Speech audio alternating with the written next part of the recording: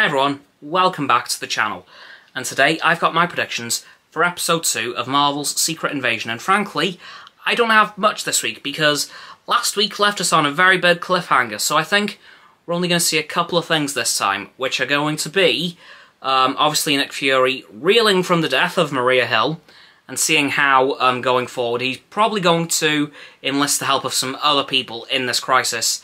And I'm going to guess Rhodey is going to be one of them, which could potentially lead us straight into Armor Wars? Possibly. Yeah, I do think at some point in this episode we are going to see Nick Fury cave a little bit and ask for some help from some more people, because of course he's now lost Maria Hill, which still has shocked me. Like, I'm, i still haven't got, got over that, to be honest with you. It was really depressing to see that happen. But yeah, um, as for what else could happen in this episode, I think we'll learn a bit more about Gravik's um, group of rogue Skrulls in this episode, and we may see how Gaia, Talos' daughter, came to actually join them.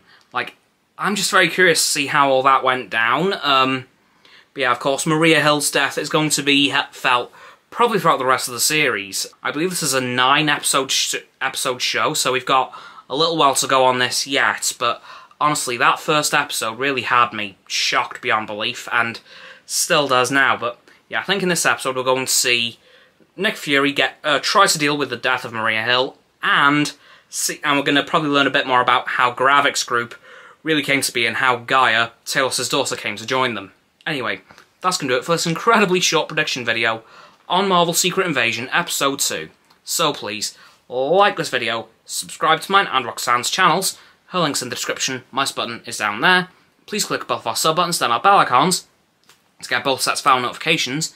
Comment as well, because why not? Let me know what you think will happen tomorrow in episode 2.